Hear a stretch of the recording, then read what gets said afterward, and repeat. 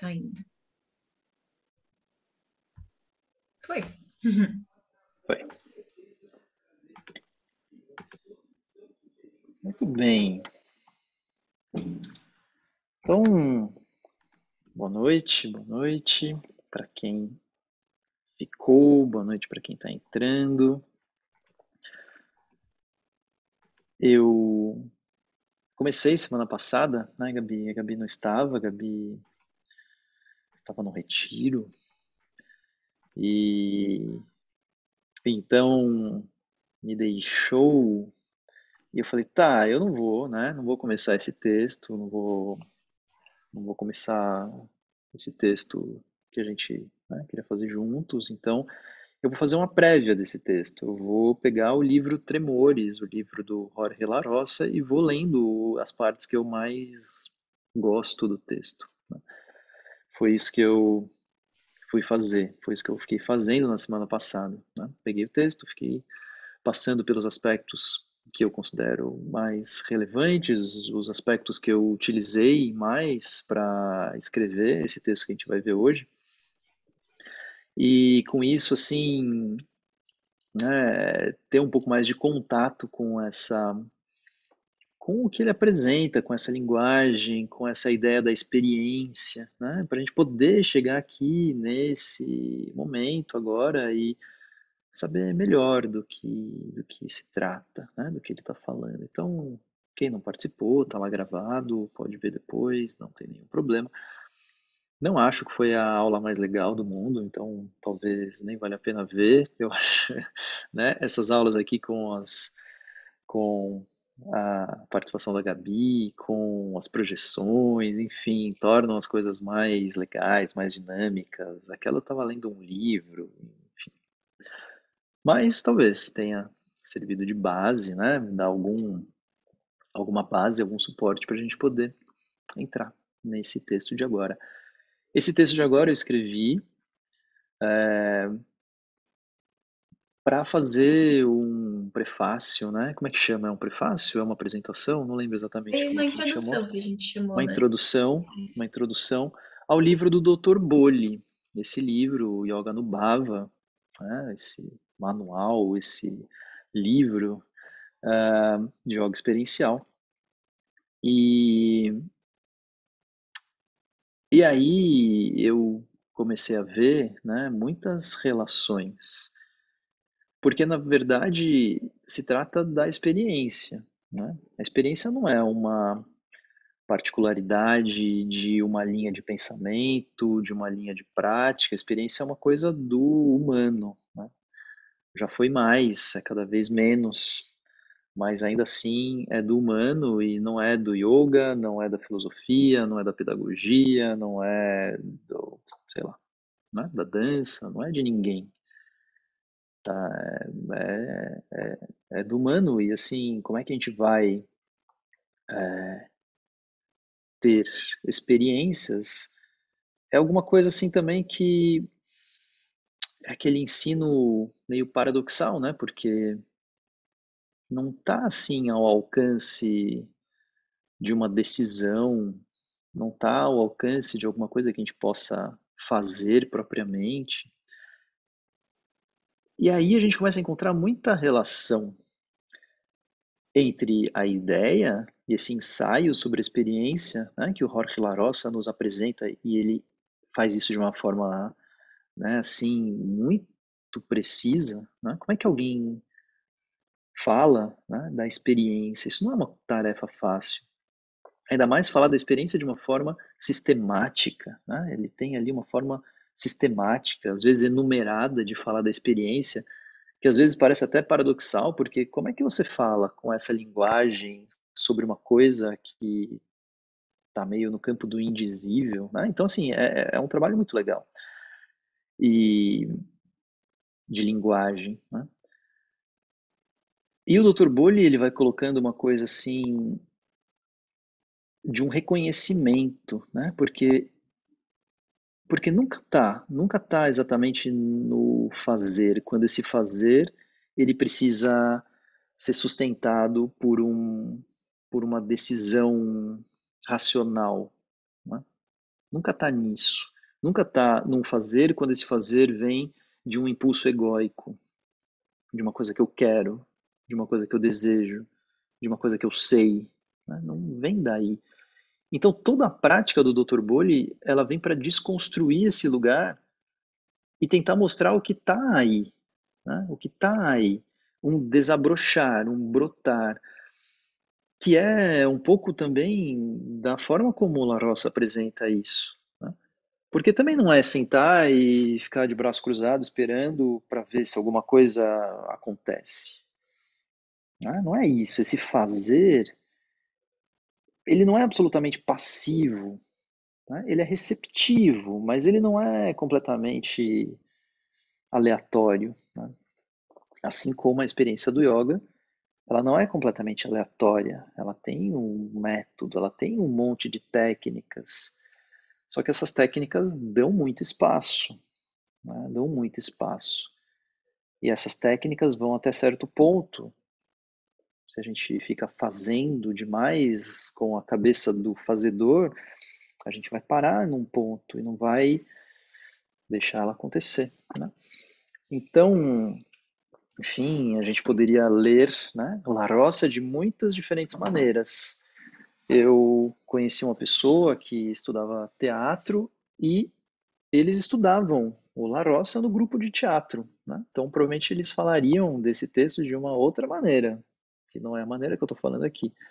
Tem gente que estuda isso no campo da educação, né? Muita gente estuda isso no campo da educação. Eles vão falar isso de outra forma, que não é a forma que eu estou falando aqui. Que tem algo de educação, mas é, é uma coisa mais específica, uma educação do yoga, né?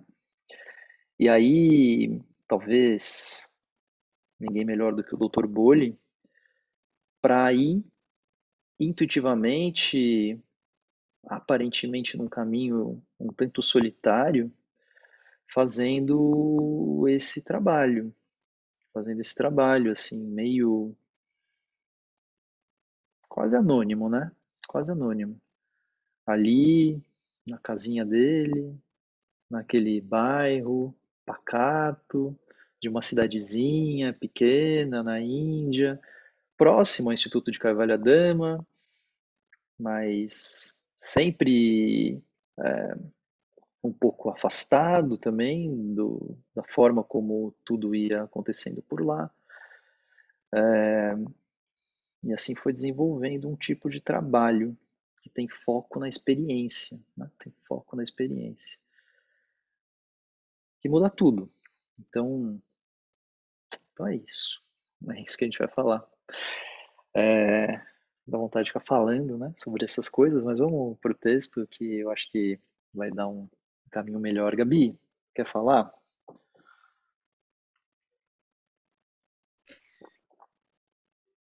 Vai me falando, né? Porque aqui tá parecendo que a conexão tá instável.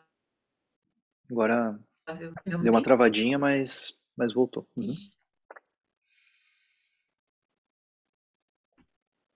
Travou?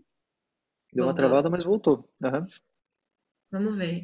De repente, uma coisa que eu pensei, porque a internet aqui não tá genial. De repente você projeta, eu vou lendo. Tá bom. Se eu travar, você me silencia, você lê, aí eu volto e sigo, só para não ficar travando para as pessoas. Tá bom. Mas uma coisa que eu queria falar antes da gente entrar no texto é que eu acho muito interessante você ter encontrado esse, esse livro sobre a experiência, porque ajuda a, a organizar o pensamento sobre a experiência, né? Enquanto o Dr. Bolli, ele dá um, quase como uma aplicação prática da teoria sobre, a, ou a antiteoria da experiência que está no livro, né? Então, eu acho, é muito, muito legal, assim, essa parece que foi feito um por o Larosa e o Dr. E acho que o, o, artigo na introdução fica muito legal, assim, as pontes que dá para construir. É quase assustador de quão imediatas, né, são essas pontes, assim. É. Deu eu fico na dúvida. Deu, deu. Uhum. Fico na dúvida se é forçação de barra, porque às vezes eu falo, nossa, mas parece que encaixa com uma luva mesmo. E tudo bem se for também, porque encaixa do mesmo jeito. então, né? É, ele não fez. É bem impressionante quando encaixa. É, é bem impressionante. Então deixa eu projetar.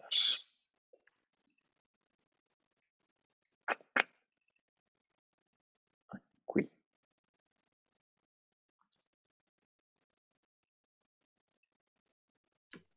Muito bem.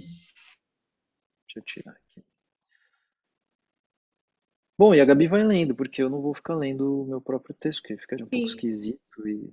Eu vou Então, lendo aqui. Vamos ouvir uma voz, né? Outra. A experiência Yoga no Bhava é o nome que a gente deu para esse texto. Que é a introdução do nosso querido livro Yoga no Bhava. Exatamente. Então ele está lá dentro do livro, quem tem o livro, então tem esse texto. É, Gabi, vai indo, eu vou te. tá. Se eu começar a falhar, me cutuca. Tá. Tá bom. Então, vamos lá. A experiência Yo- Yoga Anubhava, Marcos Vinícius Rojo. Proponho aqui um estudo a partir da relação entre o Yoga Anubhava do Dr. Boli e a experiência na visão de Jorge Larossa. Larossa não fala. Opa!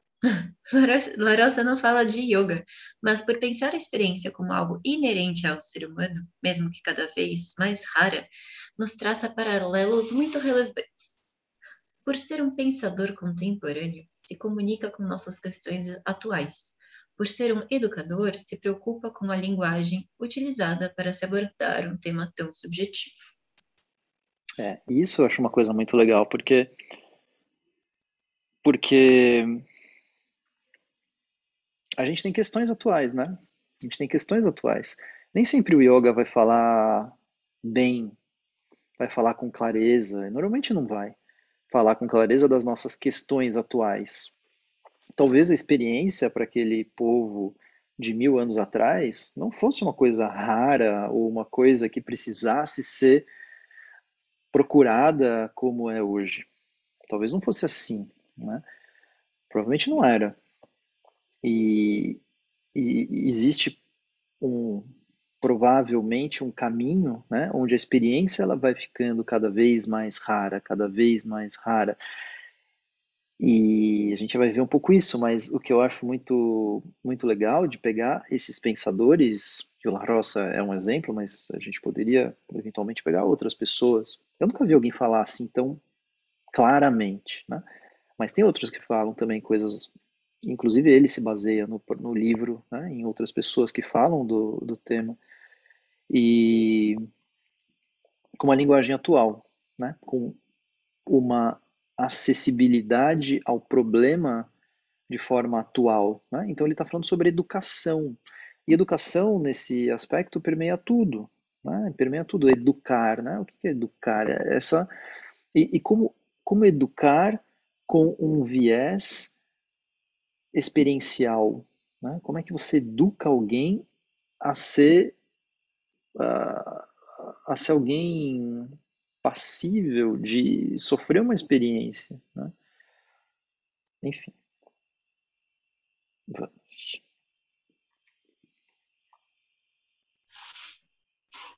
A palavra experiência. É aqui uma citação primeira, né? uma epígrafezinha do, do subcapítulo. A experiência é o que nos passa, o que nos acontece, o que nos toca. Não é o que se passa, o que acontece ou o que toca. Não sei se vocês leram isso juntos, mas é legal comentar esse trechinho, de repente. Sim, eu acho que aqui é uma das coisas mais importantes, né? Porque o que está em jogo aí é que a experiência é o que nos diz respeito. Né? Então não é alguma coisa que está acontecendo por aí. É... Nem alguma coisa que possa ser prevista de antemão, né? É o que nos acontece. Então é a forma como aquilo nos toca, que nos passa, o que nos acontece. É... Enfim, ele vai falando melhor sobre. Porque é interessante a gente também determinar, né? Assim, uma das coisas importantes que ele fala no texto é a gente saber saber delimitar bem o que é a palavra experiência e não a experiência como qualquer coisa, né? A experiência como é, como uma, uma palavra assim um, um pouco banalizada, né? É, eu vou lá né? Vou lá naquele restaurante porque eles proporcionam uma experiência sensacional, uma experiência incrível. Assim, a experiência não é isso, né? Assim, você pode, pode ser muito gostoso, pode ser muito agradável, pode ser realmente uma coisa muito boa. Mas não é esse tipo de experiência, não é, essa, não é esse lugar da experiência que, que ele está nos propondo. Porque uhum. eu nunca posso saber que a experiência vai me acontecer. Né? Não é só ir no lugar e comer tal comida ou ouvir tal música que a experiência se dá. Né? A experiência é alguma coisa que está entre o que está acontecendo e nós, né? É, é, acontece nessa interface. No sentido muito subjetivo, né? Que é o que o Dr. Bolli sempre falava. É. Então, vou prosseguir. Cada vez mais coisas acontecem, mas cada vez menos nos acontecem ou nos tocam. A palavra experiência transmite com mais potência seu significado quando não é definida. Jorge Larossa, em seus escritos sobre a experiência, diz que os conceitos têm a função de tranquilizar muito rapidamente aqueles que os possuem. Se chegamos muito depressa à ideia de que compreendemos algo como a experiência, é certo que parte importante está sendo deixada de lado. É preciso resistir à pergunta: o que é? Pois essa não é a pergunta mais importante. Para que a palavra experiência possa melhor transmitir seu significado, seria o caso então de deixá-la aberta para dizer além do que diz. É nesse sentido também que Larossa propõe que deixemos a palavra experiência afiada, impedindo que se torne uma daquelas palavras vazias de significados, desgastadas por excesso de uso. É. E como eu dou o exemplo da palavra energia, né, no nosso universo iógico, onde é uma palavra desgastada, desgastada por excesso de uso, não que ela seja uma palavra ruim, né? Porque, de fato, se bem empregada, ela poderia nos ajudar, nos conduzir, nos orientar. E o que, o que eu, por exemplo, procuro ficar fazendo é um tipo de malabarismo para escapar dela, porque ela já não diz muita coisa mais. Ela é muito vazia. Uhum. Ela é muito vazia porque ela é tão falada que ela se torna quase que qualquer coisa. Né? Uhum. Então, a experiência, se muito falada, a experiência, se muito aberta, a experiência, se muito né, utilizada, ela vai se tornando isso, uma palavra que pode ser usada para quase qualquer coisa. Então, eu tomei um banho agora e foi uma experiência incrível. Eu comi ali, né, almocei, foi uma experiência. Aí eu fui e tive uma grande experiência. Assim, né, se a gente, né, a experiência não é isso. A experiência, talvez, assim, dessa forma como o Larossa está tentando nos comunicar, é alguma coisa da qual a gente se lembra e não são muitas na vida. Né? Não são muitas coisas. São, assim, se você for tentar pensar na sua própria vida, né? O que que assim te marcou, né? O que que te marcou? Uh, algumas mulheres falam o parto, por exemplo. Né? Talvez seja de fato um, um momento assim onde uh, produza, né? É, mas você vai saber o que que te marcou. Assim, às vezes são coisas muito não precisam ser grandiosas, né? Aquela música que tocou naquele dia, tá? E aquilo foi, porque não sei, né? Uhum. Enfim, não podem ser muitas. Não pode ser coisa de todo dia, né? Não é, senão a gente banaliza de fato a experiência. Sabe um pouquinho? Tem um trecho bem no começo que eu acho muito legal, que você coloca, que ele fala assim, né? Cada vez mais coisas acontecem, mas cada vez menos coisas nos acontecem ou nos tocam. Eu acho que isso é muito importante para a gente pensar até o propósito do yoga no meio do mundo contemporâneo. Porque a gente está num mundo que se acelera cada vez mais, uma civilização muito acelerada, então mais coisas acontecendo o tempo inteiro. E a gente, paradoxalmente ou não, né, cada vez mais distraídos, às vezes até pela maior quantidade de coisas girando girando. E como a gente está mais distraído, menos coisas nos acontecem, menos experiências nos acessam. Porque a gente é. não está disponível para olhar para a experiência, porque a gente está olhando para tudo girando. Isso o yoga vai na contramão, né? Esse yoga do Dr. Bolho, yoga experiencial com Marquinhos, porque fala para apaga a luz, fecha a porta, fica aí e olha para dentro. Isso é muito potente. É um pouco do comentário que a Eliana coloca aqui, né? Mesmo em um lugar lindo, esse pode não nos tocar, posso estar distraída com a cabeça em outro lugar. É isso, né? Então, assim, os momentos. Então, se a gente for pensar, tá? Tenta pensar em um momento onde você reconhece, né, como sendo uma experiência. E assim, provavelmente não serão muitos. Eu vou dizer um da minha, do meu caso aqui, que eu acho que foi o meu último. É... Não sei se foi o meu último, mas assim, foi um dos mais impactantes desses últimos dois anos, quando foi um pôr do sol. Foi um pôr do sol, um pôr do sol num dia que estava todo mundo postando, um monte de gente postou pôr do sol, porque parece que ele foi bonito em um monte de lugar. E, e eu estava na praia, e a praia estava fechada por conta da pandemia, e não tinha ninguém na praia. E eu falei, meu, eu vou pular nesse mar. E aí eu fui, invadi a praia que estava interditada, tudo bem, né?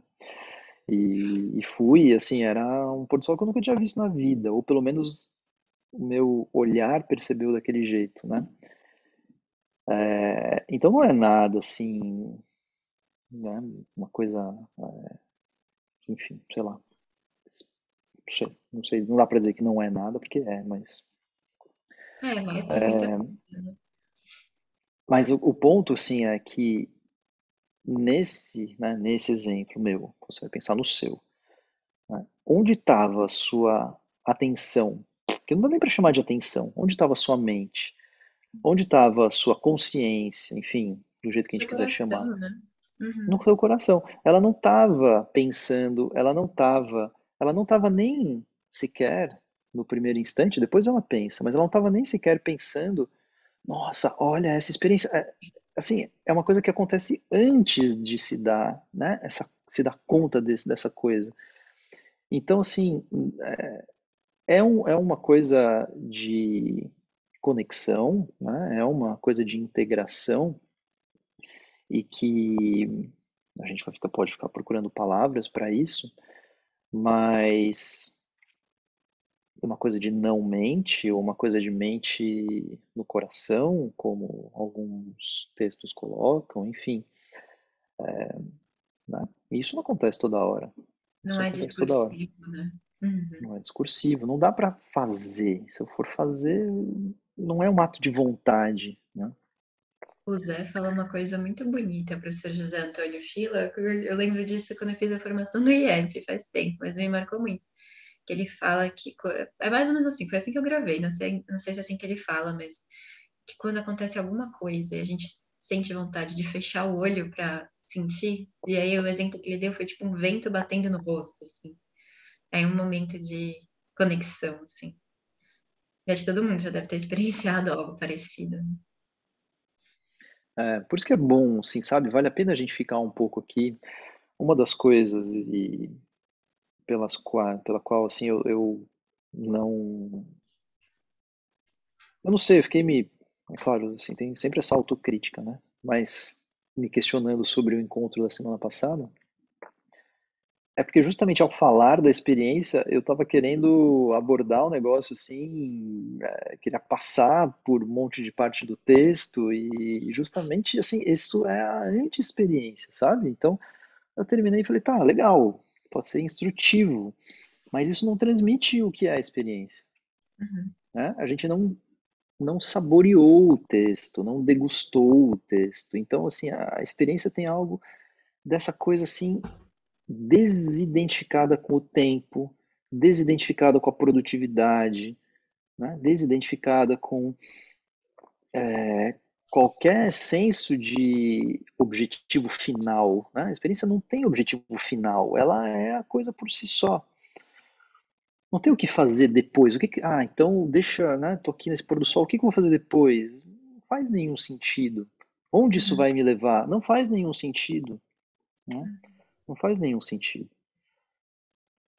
Então, então acho que assim hoje a gente está degustando melhor essa esses termos, porque assim, assim tem que ser, né?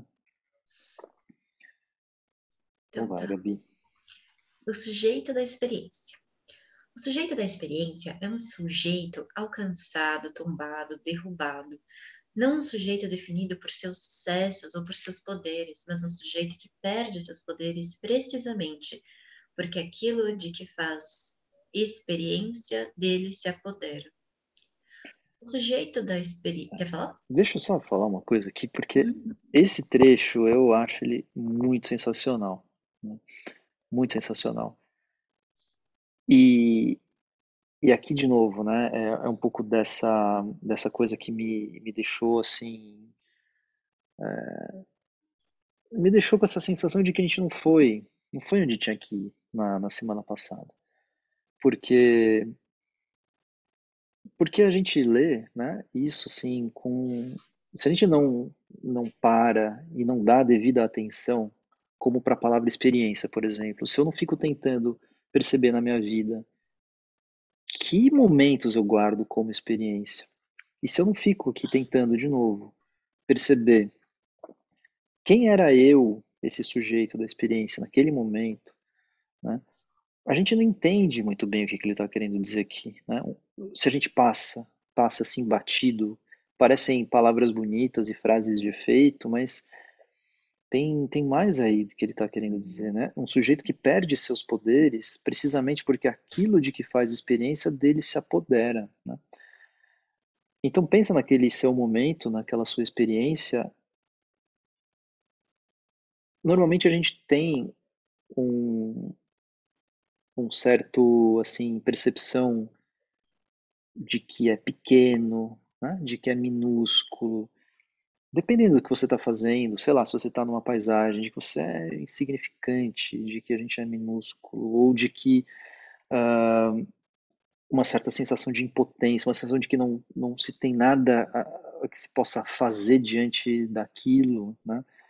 E mesmo que seja, sei lá, uma relação com pessoas, é, enfim, é um momento onde você não está não está se definindo, né? não está ali se posicionando pelos seus poderes, mas aquilo que está acontecendo se apodera, né? Aquilo é, aquilo é poderoso nesse uhum. sentido, aquilo é forte o suficiente para nos arrancar de uma certa condição que não é fácil de ser arrancada. Né? A gente está muito enraizados na nossa condição cotidiana, né? Assim, cotidiana como essa rotina, né? Para alguma coisa nos arrancar é porque ela precisa se apoderar mesmo da gente.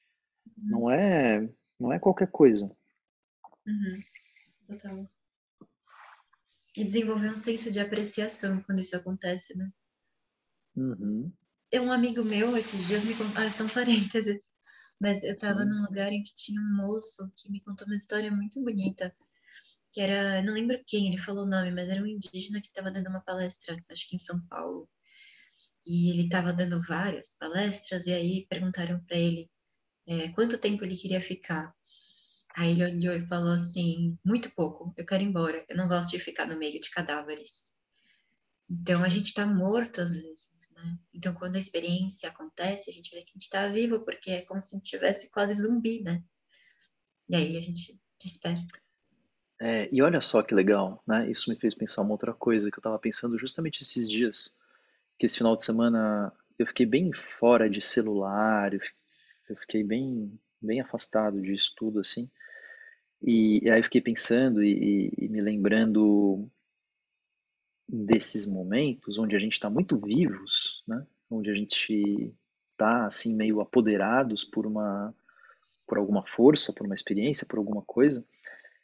E é muito interessante porque esses momentos a gente encontra uma força que não é nossa, né? Assim, não é uma força de costume. A gente encontra uma vitalidade que não é, né? É uma disposição, uma energia uhum. é, que, que parece que não é nossa, assim, e que e que, que, que é isso, né? Assim, de onde vem? Como é que né, isso me toma de um jeito que, sei lá, eu pareço é, incansável, não sei, é uma coisa que, uhum. né, que dá uma vitalidade, assim, um senso de vitalidade uhum. é, que é, é, diferente de outros momentos. É, é uma coisa assim que de, o corpo era o mesmo, né? biologicamente era o mesmo, assim, o que, que aconteceu aí? Tudo bem, é, a gente pode ir por, né, sei lá, neurotransmissores, não sei o quê, mas, enfim, a gente. Mas o que, que desencadeia tudo isso? Né? Uhum. Vai, Gabi. O sujeito Se eu estiver exagerando também, me corta, porque talvez eu esteja não. exagerando. na, na degustação. Eu estou gostando de reler esse texto, então. Então, qualquer coisa me puxa aí. O sujeito da experiência é algo como um território de passagem. Acho que esse é meu tópico preferido, sabia? Um lugar que recebe o que chega e que, ao receber, lhe dá lugar. Um espaço onde tem lugar os acontecimentos. Esse sujeito não se define por sua atividade, mas sim por sua passividade, receptividade. Não se opõe, opõe, impõe, mas se expõe. Mas como é a ação desse sujeito dentro da prática do yoga? O ponto de partida da experiência é um sujeito que não antecipa e não determina o que vai lhe acontecer. Dr. Bolli falava muito sobre isso. Sem imaginação, sem visualização, o que você está sentindo. Só é possível perceber o que realmente estamos sentindo se abandonarmos as expectativas sobre o que acreditamos que deveríamos sentir. Tanto o fazer da experiência quanto o fazer da prática do yoga são um fazer entre aspas, algo um tanto paradoxal, porque está mais perto de um deixar acontecer, isso é legal, do que de uma ação que se toma voluntariamente. Dr. Bolli fala a respeito de iniciar o movimento e permitir que ele continue por conta própria. Vamos fazer uma pausinha aqui. É... Então você comentou, né? Esse é um dos pontos mais interessantes. Eu também gosto muito desse desse ponto, um sujeito como um território de passagem, né? Como esse lugar uh, onde tem lugar, uh, esse espaço onde tem lugar os acontecimentos. E e aí o Dr. Bolli falava muito isso mesmo, no imagination, no visualization, era o que ele dizia o tempo inteiro. Eu também repito isso o tempo inteiro, né? Tá aí e ouve isso toda hora. E, e tem uma coisa, tem uma coisa que que eu me dei conta agora, essa semana, que a gente está refazendo, né, as aulas do, do Turbolho e tal, no nosso outro grupo de estudos, tem muitos grupos de estudos, e, e aí eu me dei conta de uma coisa que eu nunca tinha reparado, que o Dr. Bolli falou assim, você procura experienciar o seu corpo, não observar o seu, é, como é que ele falou assim, você percebe, né, percebe o seu corpo, não como quem observa, não no lugar de um observador, mas como quem experiencia. Fala, meu, isso muda as coisas, né? Muda as coisas, porque se tem um observador, ainda tem uma coisa separada, ainda tem um alguém que vai observar de fora, ainda tem alguém que está querendo buscar ou uma instância apartada que está querendo observar outra instância, né? Eu falo não como um observador, mas como quem experiencia, recebe uma informação que é emanada daquela parte do corpo. Não é que você está indo buscar.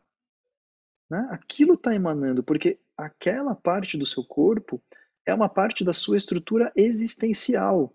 Né? Aí me caiu a ficha. Então agora eu entendi o que, que ele está querendo dizer como estrutura existencial, quando ele fala de Ana Maya Coxa.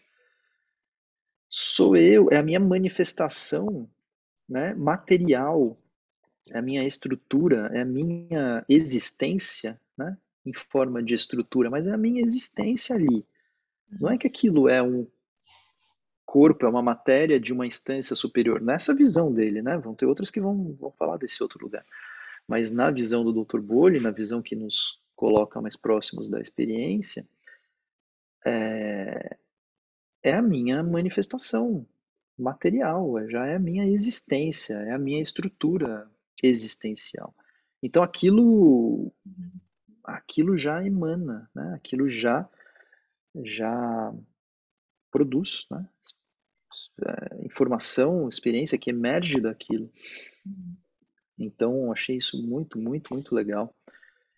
E, e ele sempre falava uma outra coisa, né? Assim que era esse uma atitude de deixar ir, né? Um let go feeling. Então toda hora, não, let go feeling. Então assim é um, uma coisa difícil de traduzir, mas é um, um sentimento, uma atitude, mais um, um sentimento, um feeling, né? Que não é uma palavra muito fácil de traduzir, de let go, solta, deixar ir. Porque se a gente está ali querendo segurar sempre a gente está muito no lugar do fazer, né? a gente está muito no lugar do controle, a gente está muito no lugar de uma instância, e por isso que o, se afastar um pouco do observador também é legal, porque o observador combina muito com a nossa instância controladora. Né? Uhum. Então, quando a gente se afasta um pouco disso e vai para o corpo inteiro como consciência, como existência, nossa, tipo, deixa ele lá fazer, por que, que eu tô aqui querendo controlar ou mandar ele fazer alguma coisa? Sabe uma coisa que eu acho interessante, só para complementar esse ponto, é que eu acho que o Larossa ele é muito sábio quando ele coloca que justamente para você conseguir fazer isso que o Dr. Bully convida, é quase como se você tivesse que ter uma certa humildade, né? Tipo, você tem que ser terreno de experiência, para isso tem que estar aberto, você tem que deixar, tipo, certeza, estrutura, auto exaltação, assim, e sofrer a experiência, estar tá nessa posição de vulnerabilidade, até para tá nessa posição em que você faz, sei lá, por exemplo, no contexto do yoga, faz uma prática do yoga e depois fala, nossa, não senti nada. Ou você fica lá uhum. sentado uma hora meditando e fala, nossa, só senti dor no joelho. É essa humildade que vai criar o terreno, vai abrir o espaço para que a experiência possa acontecer. Né? Senão a gente fica se impondo as coisas para não ferir o nosso próprio ego.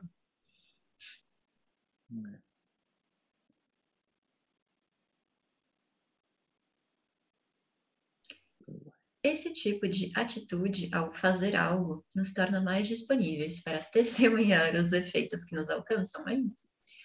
Me parece aqui que é fundamental reconhecer essas instâncias. Quando estamos identificados com o fazer, nos ligamos aos seus objetivos, e com isso vamos também reforçando esse sujeito que executa a partir de seu saber, seu poder e sua vontade, o egão, né? Ou seja, uhum. o sujeito oposto à experiência, que não dá lugar aos acontecimentos. Dr. Bolli também dizia que cada técnica é um estímulo. Executamos uma técnica para que ela nos leve de um ponto A para um ponto B. Para que criar o estímulo se não for percebê-lo dentro do corpo? É, e uma coisa aqui que eu penso, né, e que eu acho que vale a pena a gente reforçar, é que esse sujeito oposto à experiência, o sujeito do saber, do poder, da vontade, para onde ele vai levar? Ele vai levar para um lugar que ele já sabe, que ele já conhece, que ele já domina, né? E, e a gente não sai daí. Se eu sempre vou aonde eu sei, né? Aonde eu me sinto forte, onde eu me sinto seguro, aonde eu me garanto, onde, né, assim, eu estou dentro ali da, da minha área de, de manobra e, assim, é lá que eu fico, porque como é que a gente vai... E, e, e outra coisa, né, a, a experiência, ela é sempre algo que, de alguma forma, nos produz um estranhamento, né? Ela é nunca, nunca é uma coisa, assim, que nos veste de uma maneira muito é, lisa, talvez. É, ela sempre é um pouco é sempre um pouco estranha porque porque ela nunca nunca me é assim como eu sou, né? Ela sempre vai ser uma coisa que que de alguma maneira eu não sou. Uhum. Uh, e o sujeito da, da, oposto, né, ao sujeito ao oposto à experiência, é um pouco dessas pessoas assim que se cristalizam, né, e se petrificam sentadas em cima das coisas que elas sabem e defendem. Uhum. Um comentário sobre isso, uma memória, uma experiência muito especial para mim, é que às vezes quando a gente tem muita certeza, né, isso que você está dizendo, protegido, em que ninguém precisa ensinar nada para gente, a gente já sabe tudo, a gente fica muito protegido. Aí eu lembro quando a gente estava na Índia, na primeira vez que a gente, eu conheci a Pauline, acho que você já conhecia, ela, a gente estava subindo lá uma trilha para as cavernas, enfim, não importa, que para mim foi uma experiência muito marcante, assim, a cena. E aí a Pauline era, para quem não sabe, ela é uma discípula, né, do Dr. Bolli, e ela tinha mais de 70 anos já na época, mas assim, muito maravilhosa, muito jovial, aventureira. E eu ali, com os meus 24 anos, sei lá quantos anos eu tinha, toda medrosa. Eu falava, mas Pauline, você não tem medo de andar sozinha na Índia, é tão perigoso, não sei o quê. Aí eu lembro direitinho, foi tão bonita, ela olhou para mim e falou assim: Eu não gosto da sensação de estar sendo protegida. Eu gosto da vida no espaço aberto, eu gosto da experiência. E é isso, assim. É isso transposto para a vida no yoga, é muito bonito. Muito bonito o Dr. Bolli estava ouvindo, né? Então, de novo, a, a aula dele. Ele começa falando assim.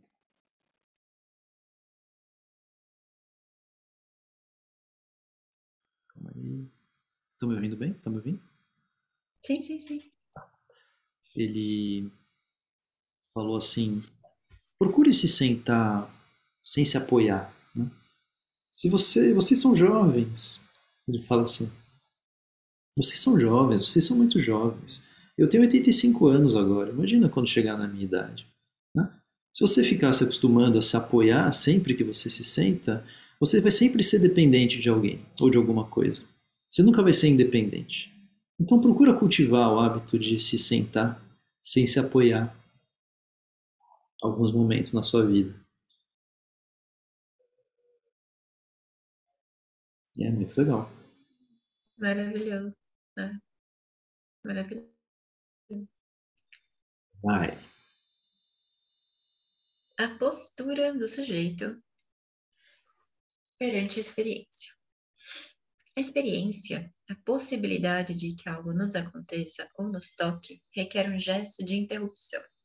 Parar para sentir, sentir mais devagar, demorar-se nos detalhes, suspender o automatismo da ação, calar muito e ter paciência, dar-se tempo e espaço. Larosa é. fala. Quer, quer comentar? Sim. Eu acho que aqui tem duas coisas que me pegam bastante, assim, que é requer um gesto de interrupção. Requer um gesto de interrupção. E talvez a gente precise ficar lendo e repetindo isso, assim, porque é... Porque senão passa batido as coisas, né? As coisas passam batido. Requer um gesto de interrupção. E, e ele, ele coloca de uma forma como se isso fosse quase impossível nos nossos tempos. Então não é assim, requer um gesto de interrupção. Ah, tá bom, eu vou fazer um gesto de interrupção, beleza, tudo certo. Não. Ele antes, nesses lugares aí que a gente está, né? Esse, esse é um trecho meio recortado do parágrafo, mas tem um lugar que ele coloca nesse parágrafo que ele fala assim: a experiência ou a possibilidade de que algo nos aconteça ou nos toque requer um gesto de interrupção, um gesto que é quase impossível nos tempos que correm. Então, se é quase impossível, quer dizer, não é uma coisa que acontece toda hora, né? Se eu se eu começo a me afinar mais com aquele sujeito oposto à experiência, sempre muito autodeterminado, sempre muito firme, sempre muito forte, sempre com muita certeza, sempre com muitos saberes, com muitos poderes, talvez eu nunca consiga produzir esse gesto de interrupção, né? É, então essa é uma é uma parte que me pega bastante, assim, requer um gesto de interrupção. Tá bom, mas assim, qual é o tamanho desse gesto e qual é o tamanho dessa interrupção, já que isso é uma coisa tão rara, né? já que isso é uma coisa tão difícil, já que isso é uma coisa que assim vai me produzir os momentos mais marcantes da minha vida. É... E outra coisa que me, me, chama muita atenção assim, é suspender o automatismo da ação. Né? Suspender. E aí a gente liga muito no, na, na prática do yoga, assim, como sendo um momento onde a gente treina, né? talvez treina seja uma palavra, porque não dá para fazer, mas a gente fica ali explorando se relacionar com isso, interromper alguma coisa, interromper alguma coisa, interromper alguma coisa. Se todo dia eu estou lá, eu estou tentando interromper alguma coisa. Agora, se eu faço a prática do yoga, e isso é uma coisa assim que, que também sempre me, me faz pensar, porque se eu faço a prática do yoga do jeito que eu sempre faço, não as mesmas posturas necessariamente, porque eu sempre posso fazer as mesmas posturas. Mas se tem alguma coisa ali que me esvaziou, né? É, e eu já faço aquilo de uma maneira automática, por isso que eu acho que os dois andam muito juntos, né? Eu não estou produzindo aquele gesto de interrupção. Se eu entro na minha prática, aquilo já se tornou automático, já não me serve mais. Então eu preciso fazer alguma coisa de outro jeito, ou eu preciso né? É, eu preciso mudar alguma coisa, porque eu estou entrando de uma maneira automática e isso não vai me produzir nenhuma interrupção com esse automatismo. Né? Se eu não parar para sentir, não parar para sentir devagar, para me demorar nos detalhes, é, isso vai produzir o tal gesto de interrupção que não é uma coisa trivial. Não é. E esse é gesto de interrupção, ele é muito poderoso, né, Marquinhos? Porque ele é quase revolucionário de vários pontos de vista mesmo, até socialmente, culturalmente, ele está na contramão da máquina do mundo, assim, tipo, às vezes eu fico pensando em termos de economia política, uma certa economia política da espiritualidade. Tem um autor que chama de moinho satânico, uma máquina de moer gente, tipo, que está uhum. devastando completamente a nossa humanidade. E quando a gente pensa, tipo, nossa, será que eu tenho uma hora para fazer yoga hoje? Parece que a gente tem uma certa culpa porque a gente está fazendo uma atividade produtiva. Então, toda vez que a gente invoca esse lugar de fazer o gesto da interrupção, é quase como se a gente estivesse afirmando a nossa existência, a nossa humanidade, falando, não, minha, minha vida importa, assim. E tem um. Esses tô até me permitindo adotar esse, esse tom menos, tipo, mais é, intimista, assim, né? Porque esse texto ele convida para isso, assim, para a gente refletir coisas profundas da nossa vida, eu acho. Foi. É, não é um texto, tipo, que nem a gente lê o acadêmico, o crítico, né? Tipo, isso aqui é um texto mais sutil, mais sensível, que toca, assim. Aí, esses dias eu estava num, num, estudo, e aí um, esse meu amigo, ele me falou, falou uma coisa no estudo que eu acho que se aplica muito aqui também. Ele fala que às vezes a gente decide abrir mais espaços para nossa prática espiritual, para o nosso yoga, o que quer que seja, né? Tipo, para coisas mais sutis e menos produtivas, assim. E a gente acha que a nossa vida vai desmoronar, porque, nossa, pratos vão parar de rodar ali. E ele virou e falou assim: mas se a gente não abrir esse espaço, será que a nossa vida não vai desmoronar? Tipo, quanto tempo a gente quer viver sem abrir esse espaço, né? É só a coisa mais importante no fim do dia. Então... Se isso é, se a experiência, ela não é uma coisa do cotidiano e ela e ela marca as nossas memórias mais valiosas, né? Produzir esse gesto de interrupção é literalmente produzir os melhores momentos da nossa vida. Né? Só que não se faz, assim, a gente precisa, sei lá como faz, né? É, se, se, se dá a chance né, disso acontecer. E isso é uma coisa revolucionária mesmo, porque se a gente está enfiados né, até o topo da cabeça na máquina da vida social, econômica, né, a gente dificilmente vai estar né, nesse lugar, porque o que a máquina valoriza é justamente aquilo que a gente é ensinados a fazer, a gente é ensinados a vida inteira. A ter o saber, a ter o poder, a saber o que quer, a ter opinião, a dar essa opinião, a ter a informação, a usar a informação, e assim, e, e é isso que a gente é ensinado, e, e ser forte, e ser firme, uh, e se defender, e, enfim, e não a ser né, alguém mais frágil no sentido assim de se deixar alcançar, né? Se deixar permear. A gente não é ensinado a isso em quase nenhum lugar. Então, realmente é um ato revolucionário, é um ato político, é um ato né, assim, muito radical, muito radical.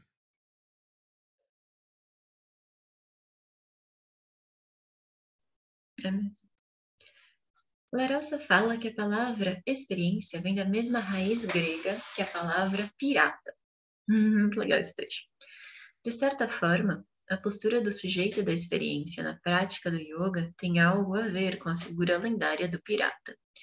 Os caminhos não são demarcados e muitas vezes a, é, a sensação é de se lançar em um mar aberto, com base em poucas orientações que vão sendo reconhecidas no próprio percurso existe uma certa clandestinidade desse sujeito que não precisa de validação externa da sua própria experiência. Existe uma certa marginalidade, no sentido de ser periférico aos valores dominantes da sociedade. Dr. Bolli dizia que com yoga ninguém vai se tornar mais rico socialmente aceito, pelo menos não com esse yoga que ele propõe, né? Total, uhum. maravilhoso. Ele nos questionava, vocês são praticantes, né? Yoga practitioners or yoga business, né? Ou vocês são administradores ou burocratas do yoga? Vocês são de fato praticantes do yoga ou vocês estão envolvidos nas atividades burocráticas, né? econômicas e sociais em torno do yoga? É claro que a gente está, provavelmente na maior parte do tempo, envolvidos nessa atividade. Né? é, yoga como uma atividade econômica, né? Yoga como uma atividade econômica. Mas assim, né? É, como é que a gente não larga, né? não deixa de de estar tá no lugar de quem pratica sem objetivo, né? Porque assim, se o meu objetivo é praticar para poder ensinar, então alguma coisa eu já estou perdendo, porque eu já tenho um objetivo. Se o meu objetivo é praticar para ser o melhor professor, para ganhar mais dinheiro, então aí já está um outro objetivo. Se o meu objetivo, né? Assim, então, como é que eu posso praticar como um anônimo, como um clandestino, como um marginal, como um, alguém que, assim, na hora de praticar, está completamente fora de tudo isso? Como é que a gente cria essas rupturas, né? E esse é o yoga. Isso está na base das coisas, né? Porque qualquer coisa que a gente faça que não está nessa base, a gente está inseridos, a gente não está produzindo um gesto de interrupção. Por mais que sentido, a gente se sente bem, a gente sente calma, a gente sente, a gente sente um monte de coisas agradáveis. Mas assim, será que isso está, será que isso está furando mesmo as minhas camadas? Será que isso está tirando mesmo as minhas máscaras? Será que isso está me deixando mesmo mais anônimo, né? mais assim, não eu do que eu?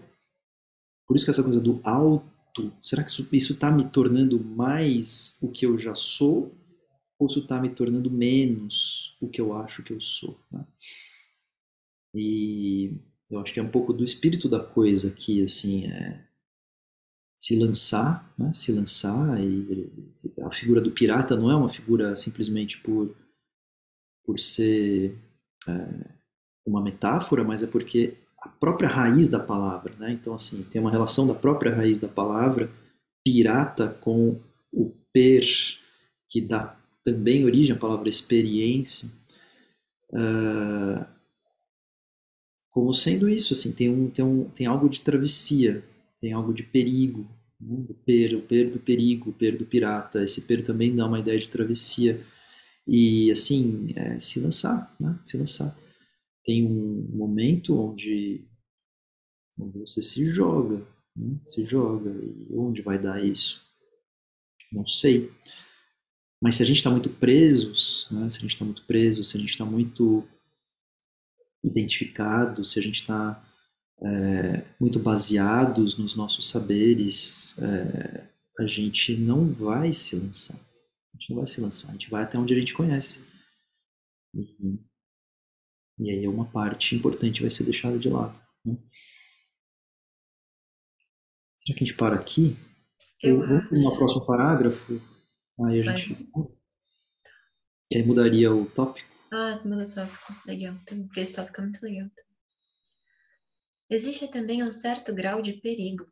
E aqui não me refiro ao risco à saúde que uma prática mal executada traz, mas utilizo esse termo no sentido do risco da espontaneidade, de se arriscar a se lançar na experiência, abdicar do controle, renunciar aos caminhos conhecidos para desbravar e explorar. Há uma questão de entrega à própria prática, com paixão, uma entrega a um campo desconhecido do corpo. Isso. É muito legal esse trecho. Eu ia até complementar, porque eu ia falar antes do. Você falou que esse gesto de interrupção é uma coisa muito radical. E aí, aqui nesse trechinho, ele fala que da origem etimológica da experiência, né? Eu ia comentar que radical, até onde eu sei, até onde eu li, radical é o que vai na raiz da questão, né? Por isso que é radical. Uhum. Então é isso, é, muito, e aí na raiz da questão, fazer o gesto da interrupção para ter experiência, né? É... é, e eu me arriscaria a dizer assim que que isso é a raiz do yoga, assim, eu, eu acho. Não de, não de todas as linhas, não de todas as tradições, mas talvez daqueles momentos onde. Arriscando dizer isso, não tenho certeza se é isso mesmo, mas os momentos onde a coisa surge de uma forma mais original, né? assim, é, ela surge de forma original em alguns momentos, assim, quer dizer, coisas surgem de forma muito original em alguns momentos, em alguns momentos é, históricos mesmo. E contracultural, né? A margem. Uh, depois vai sendo sempre reabsorvido, reabsorvido e vai se enquadrando e as coisas vão ficando um pouco mais bem acomodadas dentro do que é a gente conhece bem isso, né? O yoga, o yoga chega aqui no Ocidente e ele já vai sendo sempre adaptado, moldado para ele ficar mais bem acomodado, para ele poder se difundir, né? E não ser uma coisa que nos é, choque. Mas assim, se você pega algumas linhas de prática, o cara ele come cadáver, né? Ele, ele vive no crematório e ele come cadáver porque ele quer se desidentificar, né? Tanto de si mesmo, assim, que ele se submete a esse tipo de coisas. Esse é um exemplo.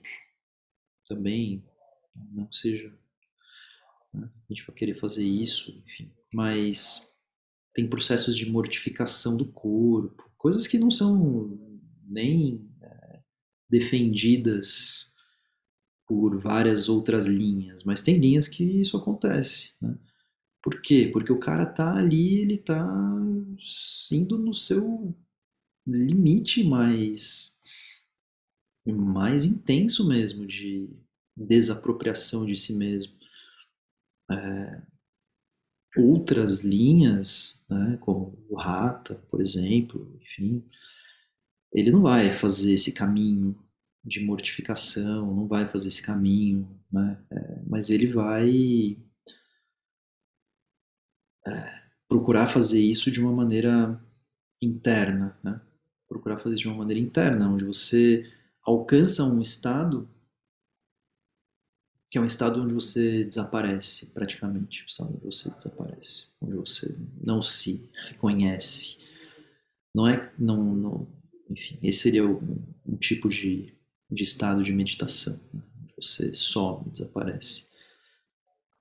E enfim, então esse essa busca assim por é difícil isso, né? É difícil isso. Eu tô aqui tentando ficar um pouco em cima disso porque eu acho muito difícil. Primeiro que a gente entenda a força do que isso é, e segundo, que a gente encontre meios de fazer esse gesto de interrupção.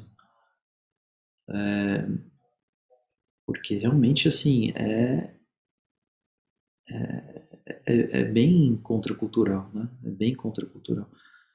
E nesse sentido, a prática do yoga não se separa muito da prática de vida, né? Assim, da, atitude de vida, porque não dá, é, sei lá, a não sei que seja muito evoluído, algumas pessoas muito evoluídas conseguem fazer isso, mas é muito difícil você ter uma vida que te reforça, né? o Dr. Gori falava muito disso, o professor Shri Krishna também. Se você está 23 horas do seu dia reforçando um tipo de atitude, é muito difícil você reverter isso numa prática do yoga, que você faça ali uma, duas horas, três horas todo dia, todas as outras você está indo em outra direção, né? Então assim você, na melhor das hipóteses, volta e fica num lugar, assim, você vai para um lado e na prática você vai para o outro e, e, se de alguma maneira fica no, no meio do caminho. É, então tem algo de, de vida, né, de coerência de vida, coerência de prática, que vai levar a gente para um, para algum lugar nesse, nesse sentido, assim, de se tornar, né? se deixar cada vez mais afetável, mais desprotegido nesse tipo de sentido. Difícil falar disso e isso é uma coisa, eu acho que eu acho que isso está bem, bem no centro, assim, bem no centro do, bem no centro de tudo. Né? Se a gente perde isso de vista, a gente está perdendo, assim, a, eu acho que está perdendo a mão do que, que a gente está tentando fazer aqui. E é Bom, muito louco, né? Porque se você for pensar, tipo, mesmo se tá, só quer fazer yoga para ficar menos estressada por causa do trabalho, que é um dos principais motivos, né? Ou a pessoa quer fazer yoga para ficar mais flexível, ou perder peso, qualquer que seja o motivo, mais simples que ele seja. Todo mundo começa a fazer yoga porque quer mudar alguma coisa, né? Ninguém começa a fazer uma prática, não, eu já sou muito perfeito, tô ótimão aqui, eu só quero complementar alguma coisa. Eu acho que esse estado de abertura, de fazer a prática e se permitir sofrer a mudança, passar pela mudança depois, que está sempre no centro de tudo, independentemente do yoga que a gente esteja praticando, né? É cultivar essa abertura. Tem um professor que meu que fala isso que eu acho muito bonito, assim. É quando chove, se você está fechado que nem pedra, a água não vai penetrar. Então, quando a gente pratica, a gente se abre que nem terra e a água vem e umedece. E aí, quando você vê, a terra já não está seca, está úmida. Então, a terra mudou. A gente cultiva esse estado de abertura, de humildade que o Larossa fala. E eu acho que o Dr. Bolli, ele tinha essa provocação de falar, tá, mas então você acha que mudou porque agora está rezando a cartilha do que você acha que é um bom praticante de yoga? Então, um praticante de yoga tem o tapetinho pink com o símbolo de um chakra. Você está realmente se sendo transformado ou você está rezando uma cartilha porque você quer vestir um personagem? O Dr. Bully ia direto nisso, não com essas palavras. Que nem quando ele falava pra gente, ah, então você fez um bujangaço Maravilhoso Perfeito, apareceu na TV, mas o que, você sentiu? Eu acho que essa dobradinha, Larossa, Dr. Bully, é tipo é. é. e assim, sempre com uma certa. Com, com, os indianos têm muito isso, né? Assim, que nunca. Você pergunta uma coisa para eles, eles nunca vão dizer que tá certo. Né? Mas, assim, assim, tá certo, né? Nunca tá certo, porque assim, tá certo é uma coisa que se fecha, né? Nunca tá certo, porque sempre pode ser outro, sempre pode ser diferente, sempre pode ser de outra maneira. Então, raramente assim, você vai pegar esses, esses professores indianos mais raiz mesmo. Não, tá sempre errado. Tá sempre errado. E que bom que tá sempre errado, porque, né, o que, que a gente tá... Se tá certo, a gente chegou o quê? Na perfeição? Que perfeição é essa, né? Que alimento para o nosso ego é esse? É, então não tem, nunca, nunca, nunca tá certo. Também, quando me mandam um vídeo do Kapalabhati, né, sempre tem alguma coisinha, sempre tem alguma coisa. Raramente, assim, ou eu, ou eu não tenho condições de avaliar. Né? Falar, bom, não tenho condições de avaliar mais do que isso. Mas à medida que, que a pessoa vai se tornando mais experiente, né? E o Dr. Bolli sempre tinha uma coisa para dizer. Deixa eu passar para a Luísa, que a gente já está aqui passando a nossa hora, para a gente ouvir seu comentário. Vai lá. Oi, boa noite. Oi. Eu fiz o gesto de interrupção da aula, então, para tirar 10, estou interrompendo a aula. É, mas eu pensei, na verdade, estou vindo desde de, de algumas semanas pensando nisso, porque tem a coisa de você se entregar à experiência e se tornar vulnerável, né?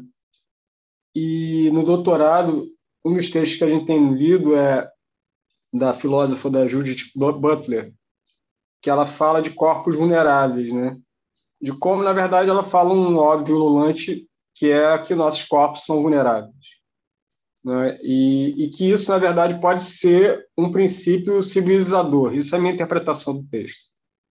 Porque se todo mundo percebe que, tem, que a sua existência é vulnerável e que é um corpo, todo mundo pode pegar um pouco mais leve, digamos assim, por exemplo, numa guerra. Né? Aí eu acho que, enfim, né, tem outros fatores que, que levam as pessoas a acharem que não tem os corpos vulneráveis e então ela tem isso. Eu posso pegar. Eu confesso que eu não li o texto, eu só escutei os alunos que fizeram fichamento, mas eu posso pegar a citação direitinho e passar para vocês. Interessante. É interessante. É interessante isso. É só isso, na verdade. Legal, só... obrigado. Eu fico feliz também que, que quando fala que quando a, a prática está fracassando, você sabe que está fracassando, está indo bem, então, pô, me sinto super super bem sucedido nas suas aulas, porque mormente é assim que eu me sinto, entendeu? Às vezes as coisas não acontecem mormente segundo a cartilha, assim, mas eu gosto. Eu gosto da, da exploração, eu gosto da, de, de tentar, e, e, e efetivamente, é claro, tem a gente fica mais tranquilo no trabalho e o corpo fica alguma coisa mais alongado também o que é ótimo, sem nenhum problema. Mas eu, mas eu gosto muito, acho que o mais gosto, na verdade, é essa exploração sem fim do corpo, né? Que fica para mim muito claro assim. Você fecha o olho ali, pô, e você está num universo paralelo, né? Entendeu? Você está num universo completamente que não é um universo abstrato, né? É cheio de potências e dorezinhas e dores maiores e uhum. impotentes, né? Mas é uma coisa que é, um, é uma coisa muito interessante assim de, de se experienciar. É isso aí. Obrigado. Valeu, valeu. Obrigado. Beleza. Muito bom. Então tá, Gabi. Acho que da minha parte, por hora é isso. Eu acho que é Estou é, gostando muito de passar, de revisitar esse, esse texto, né? E, e tem uma coisa muito legal, assim, né? Eu nunca tinha feito isso na vida, de ler um texto que eu escrevi. então, isso é muito legal, porque porque me faz rever né, as coisas que, que foram colocadas naquele momento, me faz repensar coisas que talvez já não colocaria da mesma forma, enfim mas dá uma intimidade assim para as coisas que estão ali colocadas de um jeito que eu nunca pensei. Muito legal, gostei. Então. E aí a gente concorda mais com o texto, né? tipo isso. Muito bom. Tem uma mão levantada, Marquinhos, a Soraya. Soraya, a última mão, então, pra gente ir, que a gente já tá super atrasados. Será que dá tempo? Rapidinho. É, eu achei bem interessante assim a, colocação da vulnerabilidade, né, que a Luísa trouxe.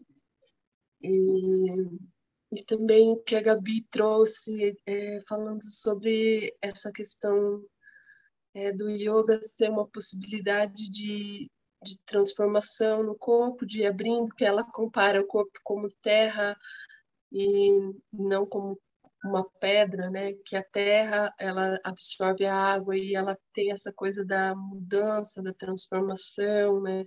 De algo que é inesperado também, né? Então me passa muito isso, assim. Até anotei aqui algumas palavras, mas que que a experiência ela traz algo de muito inesperado, assim, né? E além do inesperado, eu anotei aqui ah, da impermanência, né, do inesperado, do, do se abrir, né, para perceber as nuances é, da vida, né, e as nuances da prática também, porque cada dia é um corpo que vai fazer essa prática, né, e uhum. cada minuto o nosso corpo está nessa transformação, nessa transformação. Então, por mais que a prática seja a mesma, as mesmas posturas, né? Por exemplo, a prática da manhã, mais que ela é a prática da manhã duas vezes na semana e é parecida, é, o nosso corpo não é parecido, né? Todos os dias, e aí a gente recebe aquilo de uma forma diferente. E quando esse corpo ele está mais aberto, como essa terra, né? É, a gente não sabe como no barro o que que vai dar, né?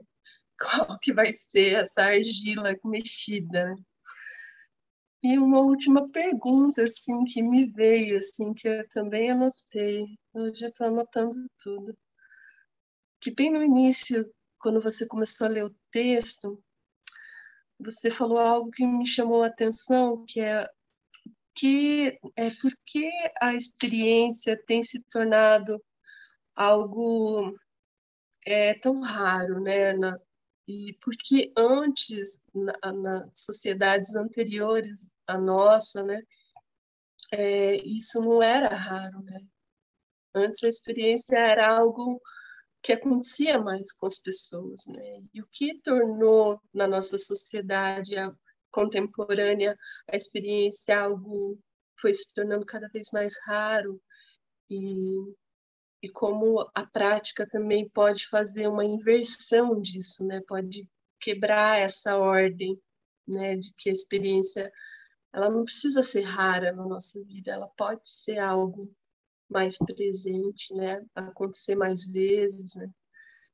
Então essa ficou essa pergunta, né? Por que, né? A experiência é, da história raro. Não colocou isso, ele ele está o tempo inteiro dialogando com essa questão no livro, né? Então, a primeira coisa que ele fala, quando apresenta, quando ele fala isso, a experiência é cada vez mais rara, ele diz que é cada vez mais rara por quatro coisas: por excesso de informação, uhum. excesso de opinião, excesso de trabalho e falta de tempo. Ele coloca esses quatro elementos como sendo os elementos que baseiam aí essa questão de ser cada vez mais rara. Ele vai contando, né? Então tem informação, tá? Mas a gente não se contenta com a informação. A gente quer consumir a informação e a gente quer ter opinião sobre a informação. E aí, com isso, a gente vai, né? E o nosso trabalho nos consome e a gente tem é, menos, a gente não tem tempo porque a gente fica rodeados com isso, mas mas, assim, apesar de ele apresentar esses quatro pontos, né, tem várias coisas que ele vai colocando, ele vai falando sobre a diferença da ciência com a, a experiência, então a diferença do experimento e da experiência, né, a objetividade em relação à subjetividade, o nosso pensamento, como ele vai se tornando cada vez mais objetivo, cada vez mais científico, cada vez com menos espaço para subjetividade. E e combinado com isso, combinado com a tecnologia, combinado com essa velocidade onde as coisas vão acontecendo, quer dizer, isso é um cenário destruidor de experiência, né? E as pessoas sendo educadas e moldadas para sobreviver e vencer nesse tipo de mundo. É, me vem muito assim essa questão também da, da própria revolução industrial mesmo, né? Dessa desse ponto da história, assim, né?